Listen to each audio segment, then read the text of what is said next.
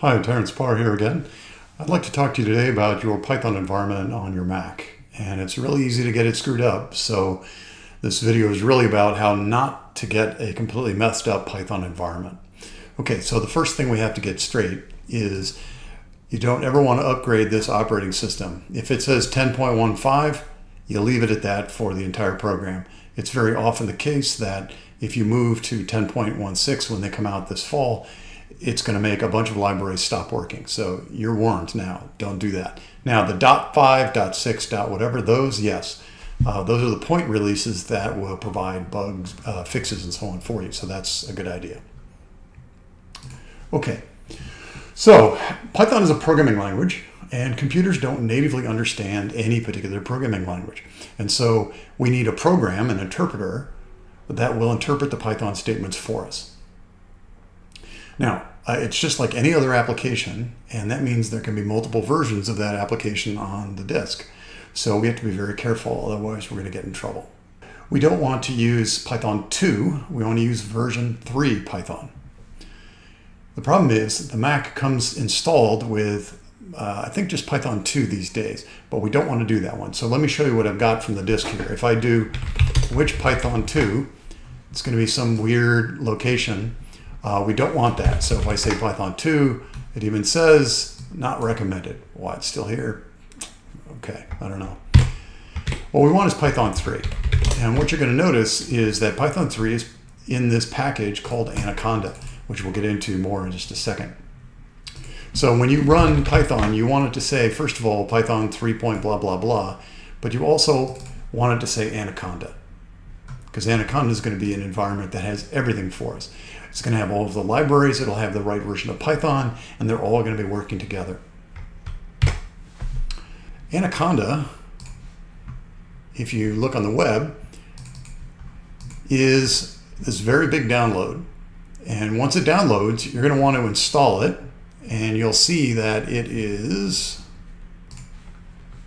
installing it here in the opt directory of your of your root uh, where you your directory is, your user directory, and then in the opt subdirectory, and then underneath that is Anaconda 3. And of course, if we navigate to the bin for binaries, we'll see that there's a Python executable in here. There you go, Python 3, Python, and so on. Easier way to do that is just say which Python, which we already did, and you can see that the slashes indicate subdirectories and it takes us straight down. And so this is the Python that we're executing. Okay, so that is something you want to make very clear that you're using the right version of Python, uh, like version 3, not version 2, and you're using the right program, the right interpreter. We want everything to be coming out of Anaconda. It's just much simpler if we all use the same environment. Python is um, just another programming language like I'm using from the shell here. This is another programming language. I'm going to enter a new environment when I say Python. And of course I can do this, but I can also write actual little programs and so on. And then when I exit, oops, I go back to the shell and that's where I type commands. Now, there's a fancier version called IPython, and here I can do the similar sort of thing, except now you can see it's kind of fancier. That is something I don't usually bother with, but it becomes part of something called a notebook, which we'll take a look at shortly. Okay, we'll get out of that. We're going to be installing all sorts of things. There's two kinds of things that we install. One is a series of applications, which you do normally. Uh, you know, you've installed browsers, you've installed all sorts of things. The other thing we want to be able to install are a bunch of command line tools. So for example, well, first we need this, this thing called brew. Homebrew is what it's called. But once you install it with this stuff here, okay, so when I want to install GraphViz, which is a great library for doing all sorts of graphical networks and so on. Uh, I say install. Of course, I've already got it installed, uh, so it'll warn me about an update.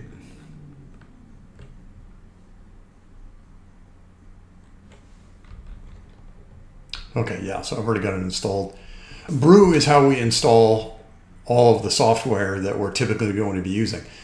Now, if it's Python software, then we're going to be using pip. So pip is a Python install program, and it is what goes to find Python libraries and installs them inside the Anaconda library area. So again, We're going to wrap all this up in our Anaconda area.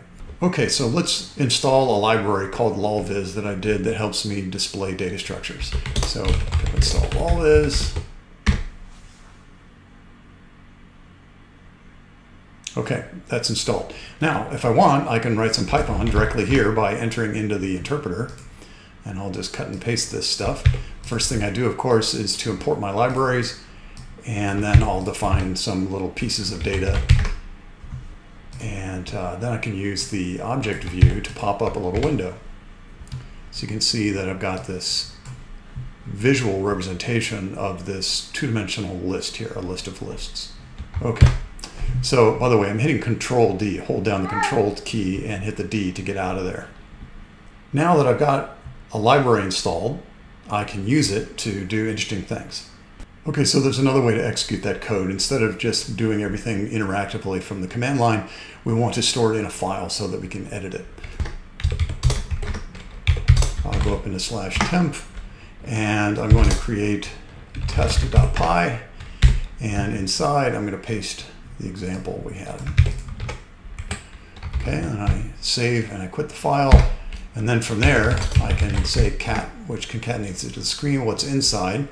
And then I can execute it and up pops the same window that we had before. Okay, the difference is now we have it in a file, so I can edit it, you know, like it's a real program. So most libraries, in fact, the lolviz library that we just imported is in fact a Python file. Much of what you do for my class, you will be submitting files with Python in them. In many other classes, and when you're doing development work for machine learning models, you will often use something called a Jupyter Notebook. And let's take a look at that thing now. Uh, I can just do it from this current directory. I'm going to say Jupyter Lab. Jupyter is the name of this notebook mechanism, and the lab is the latest version uh, that we want to be using. And you'll see that it starts up this little server, and then there's a browser that starts up with this little URL that's to a local machine. And I say create some temporary little file, and um, I can do all sorts of interesting things like I normally would 3 plus 4. And so I get all of this code. I can even run what I had from before. I can run all this stuff, except I don't need view now. Get rid of the view, and it'll do it inline. It's a great way I can go back, oh, you know, I didn't mean 4, I meant 5. And then I can uh, rerun it. And I can go in and change this to be something else, and you can see that it changes it. So this notebook is an interactive means of developing software. And it's very attractive for lots of things you do, but not necessarily for the classes that you work with me on. So just keep that in mind. Uh, one of the reasons that I started from here, instead of, for example, from the Anaconda Navigator, which you also have available, you can run this Jupyter Lab this way. I don't run it that way because here I can go kill this thing with Control C, shut that down, and I can make this go away. Yes and I can go to my data directory. Got a bunch of files in here, and I can start up Jupyter again.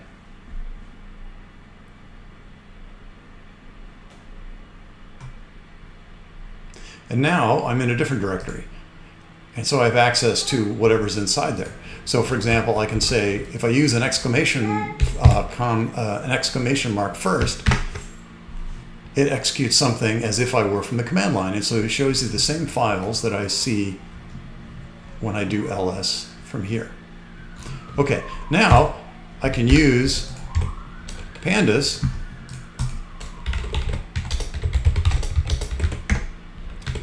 to read in, say, uh, rent test.csv.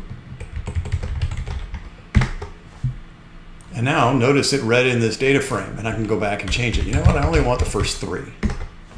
Cool. And so this gives a nice visual representation of this data frame that I read in. So notebooks are really a great way to kind of explore data and to do some visualizations. But if you're going to be building libraries, such as you will for my class, it's very often not the right approach, but you can at least explore that uh, your program that way. Okay, so there's another option for you for development, and that is PyCharm. So I'm just I'm just displaying some uh, program that I was playing around with earlier. What you notice here is that the code is uh, in my center window here, and I've got a pane down here where I can execute Python code. Uh, I have the documentation over here for any one of these, you know, or these libraries that I happen to be using. One from uh, PyTorch. So it's just a very useful, rich environment for which I can use to develop software. And so this is what I recommend, but it seems to take people a while to get used to it. Um, one of the things that messes them up, if you go to the preferences, there we go. I don't ever use the mouse unless I have to. Uh, under Project Interpreter, what you notice is that I'm using this Python 3, and that's what you want to do. Um, you'll notice that there's another one available. Don't use that one. Use the one under Anaconda. Keep that set to Anaconda, then what you use on the command line will be the same that's going on inside Python, uh, PyCharm. So that is one of the ways that you can get discontinuities and things behave differently depending on which environment you're in. Uh, let's see, the next tool that we need to talk about is Git and GitHub. So if you go to the course website, you'll see that this is at GitHub. So you can see the URL here. So GitHub is a sort of a central server that holds Git repositories. A Git repository is a collection of files and subdirectories. So here is the repository for the data acquisitions class. And if you want, you can dig down into these things and you'll see that I've got all sorts of uh, project descriptions and so on.